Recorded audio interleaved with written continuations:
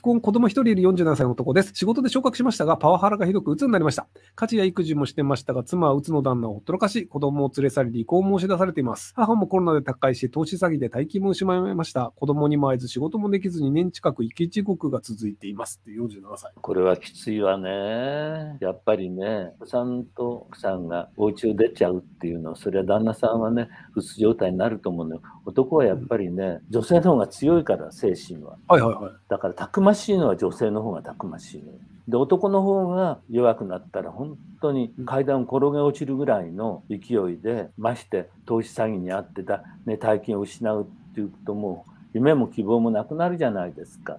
でもそれをずっとそういうふうに地獄が続いてそういうふうに思っててもそこから這い上がることがなかなか難しいと思うのうん。自分がそういうふうに思ってたらどっかで切り替えて気分転換することが大事。お仕事だって今してるかしてないかしてるのかしらこの方。今仕事もできずなので、ちょっと鬱の状態で難しいかな。だからそれがついわよね。だからやっぱりこもるんではなくうちにこもるんではなくお友達とその愚痴を言えるこういう状態なんだけど、友達と話して少しでも安らぐ気持ちを持つことが私は大事だと思うのでそこから抜け出すことをまず考えないとダメ。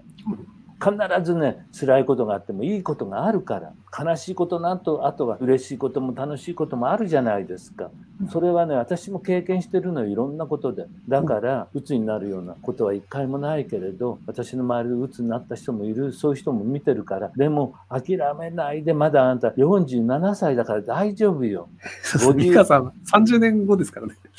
50, 50歳になった時に外に出て友達と話せるような状態にそれを2年かけてでもいいから少しそういう気持ちでやってったらいいと思うわよ。やっぱりね、負けちゃダメよ。人生1回しかないんだから。ましてお子さんのねあんたお子さんがもし仮に成人になった時にさ会いに来てくれるかもしれないし